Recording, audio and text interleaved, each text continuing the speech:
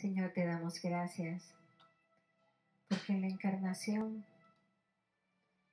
veniste al encuentro de la humanidad. Viniste como hombre a encontrarte con el hombre. Todos los evangelios están saturados de relatos de encuentros con personas específicas, en lugares específicos, en horas específicas y con un propósito específico. Te encontraste con Saqueo, uno de tus tantos encuentros, pero para él no fue uno más, ni para ti tampoco, Señor, porque tú veías a cada ser humano en su realidad y desde ahí lo ibas a llevar a elevarse a la realidad del reino. Te encuentras con saqueo, lo ves arriba de un árbol.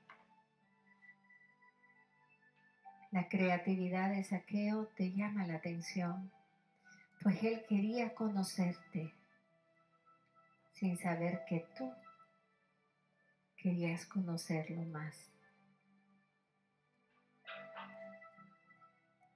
Tú entras a la casa de saqueo, a un lugar específico, a su familia.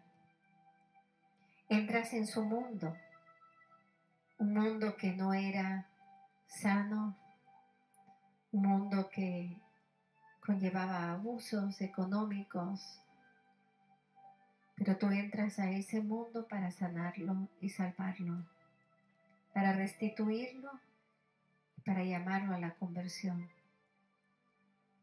No es suficiente que te dejemos entrar a nuestro mundo, Señor, sino que te dejemos entrar para que nos saques de nuestro mundo. Y así vemos a Saqueo transformarse dejar todo atrás, arrepentirse de su vida, de lo que ha hecho con su vida, de lo que ha hecho con sus hermanos. Y restituye reparando, sabiéndose responsable del mal que ha hecho. Y cuando hemos hecho mal, hay que reparar y hacer el bien. Entra en nuestro mundo a través de esta Eucaristía, Señor. Pero no nos dejes en él. Y que nosotros tampoco te dejemos entrar superficialmente. Entra a la casa de nuestro corazón y sácanos de nuestros propios munditos.